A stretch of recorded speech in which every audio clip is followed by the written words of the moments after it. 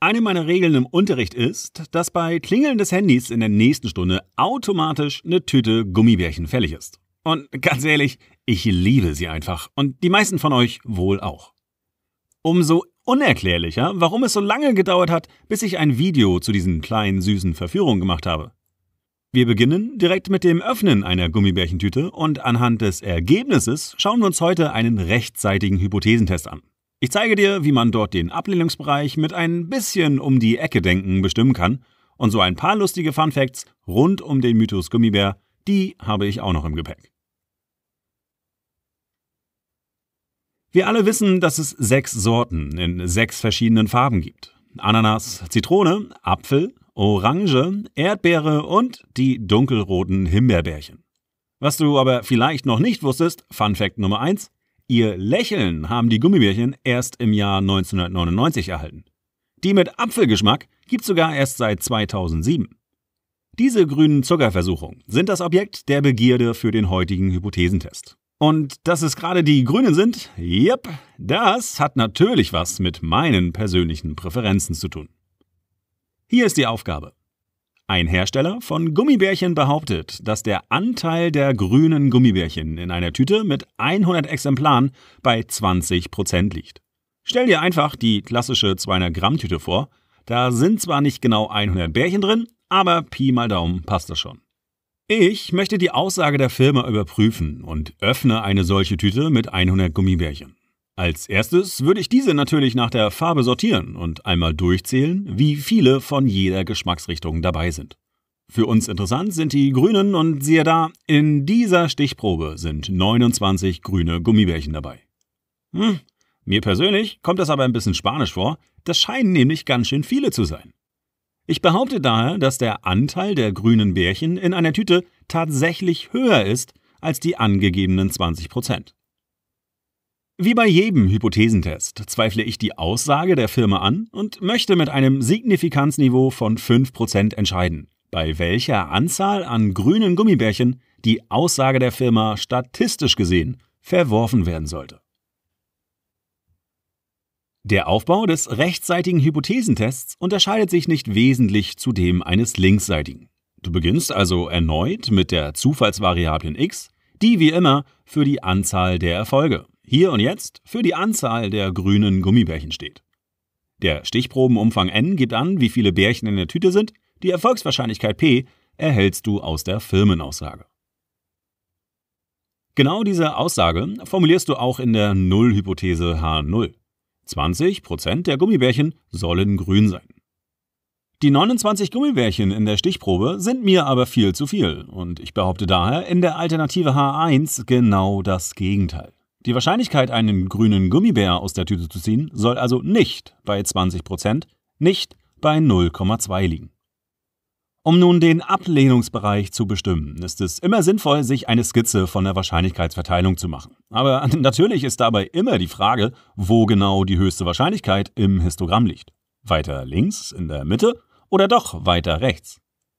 Die beste Idee dafür erhältst du aus dem Erwartungswert, der für binomial verteilte Zufallsvariablen dem Produkt aus n und p entspricht und tatsächlich immer in unmittelbarer Nähe der größten Wahrscheinlichkeit liegt. Links und rechts davon ist die Wahrscheinlichkeit ein bisschen kleiner. Ergibt Sinn, irgendwann hast du mal kennengelernt, dass sich das Histogramm für kleine Erfolgswahrscheinlichkeiten nach links verschiebt. Es ist übrigens auch vollkommen okay, die Verteilung durch so eine Kurve anzudeuten. Aber bitte immer daran denken, dass es nur ganze Gummibärchen geben kann und es sich um eine diskrete Verteilung handelt.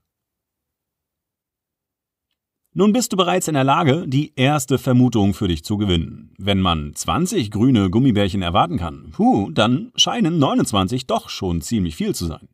Eine ziemlich große Abweichung vom Erwartungswert. Wie groß die Abweichung vom Erwartungswert in deiner Stichprobe aber tatsächlich sein darf, das wird dir durch das Signifikanzniveau Alpha vorgegeben. Die geometrische Idee hinter diesem Niveau ist vergleichbar mit dem linksseitigen Hypothesentest.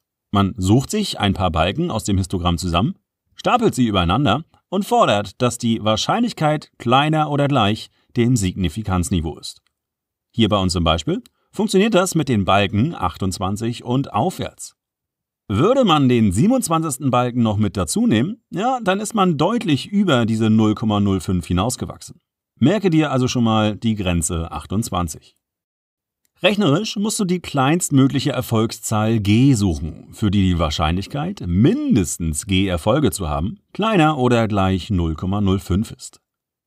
Dieses mindestens g Erfolge berechnest du in der Binomialverteilung immer über das Gegenereignis. In diesem Fall also 1 minus die Wahrscheinlichkeit für höchstens g minus 1 Erfolge. Und auch das solltest du aus der Binomialverteilung kennen. Das Gegenereignis zu dem mindestens muss immer eine Erfolgszahl weniger aufweisen. Am Ende musst du also mit dem Taschenrechner oder dem Tafelwerk nicht die Ungleichung links lösen, sondern diese hier, formuliert mit dem Gegenereignis. Vereinfachen wir das Ganze aber noch ein wenig. Die 0,05 auf die linke Seite, die Wahrscheinlichkeit für höchstens G-1 Erfolge auf die rechte Seite. Übrig bleibt eine relativ einfache Frage. Wann ist die Wahrscheinlichkeit, höchstens G-1 Erfolge zu erzielen? Größer oder gleich 0,95? Eine Frage, die du jetzt wirklich mit dem Tafelwerk oder dem Taschenrechner durch einfaches Probieren lösen kannst. Für unsere binomial verteilte Zufallsvariable mit Erwartungswert 20 bestimmst du demnach rechts vom Erwartungswert die zugehörigen Wahrscheinlichkeiten. Für höchstens 25 liegt sie bei 0,9125, für höchstens 26 bei 0,9442 und schließlich für höchstens 27 bei 0,9658. Erstmals größer ist also die Wahrscheinlichkeit bei höchstens 27 Gummibärchen.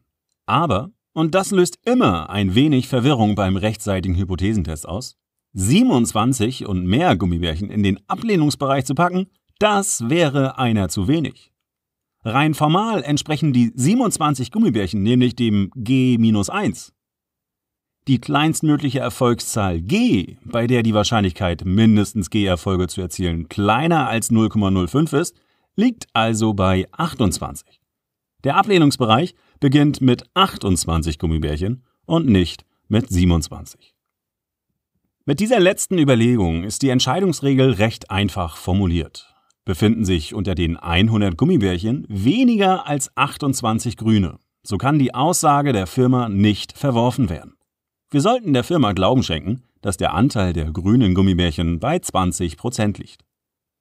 Befinden sich jedoch 28 oder mehr Grüne unter den 100 Gummibärchen, so ist die Abweichung vom Erwartungswert 20 so signifikant, dass die Nullhypothese verworfen werden sollte.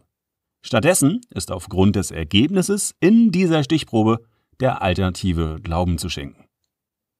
Wenn ich also, wie im heutigen Video, eine Tüte Gummibärchen öffne, in der sich 100 Bärchen befinden und von denen genau 29 grün sind, dann kann ich mit 95%iger Sicherheit sagen, dass die Aussage der Firma nicht zutrifft. Zumindest in meiner Stichprobe scheint der Anteil der grünen Gummibärchen statistisch nicht bei 20% zu liegen. In Real Life hingegen habe ich immer das Gefühl, dass die roten Gummibärchen häufiger vertreten sind. Aber da lasse ich mich vielleicht einfach von den beiden roten Geschmackssorten beeinflussen. Wie viele rote, grüne, gelbe und weiße Gummibärchen es am Ende tatsächlich in so einer Haribo-Tüte sind, das entscheidet wohl der Zufall. Zumindest schreibt es Haribo selbst so auf ihrer Homepage.